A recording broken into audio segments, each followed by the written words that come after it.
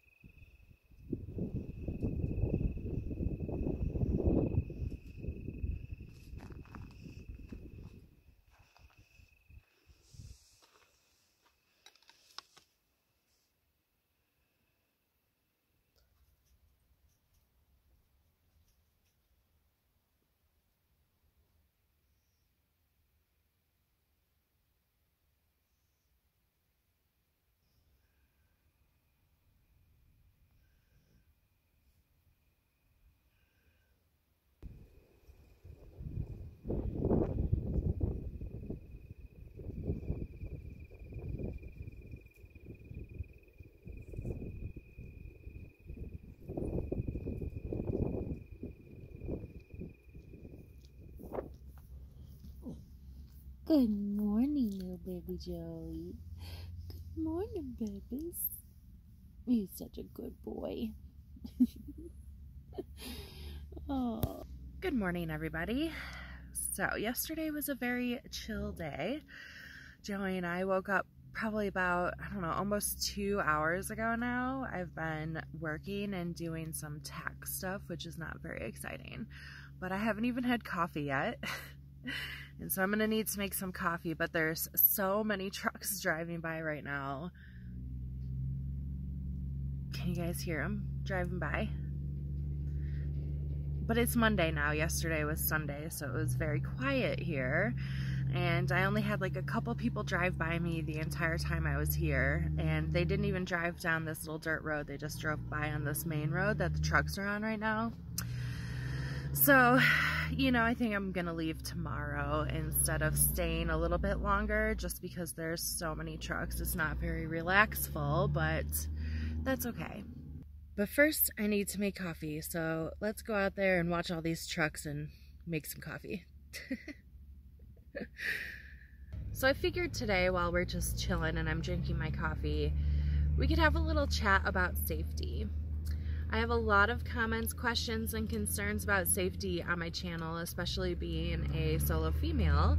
I just wanted to talk to you guys a little bit about that because honestly, I think I'm the worst person to give advice on this. And the thing is, is I grew up outdoorsy. My parents were very big on camping when I was a kid, and we used to go to pretty remote locations and go camping all the time.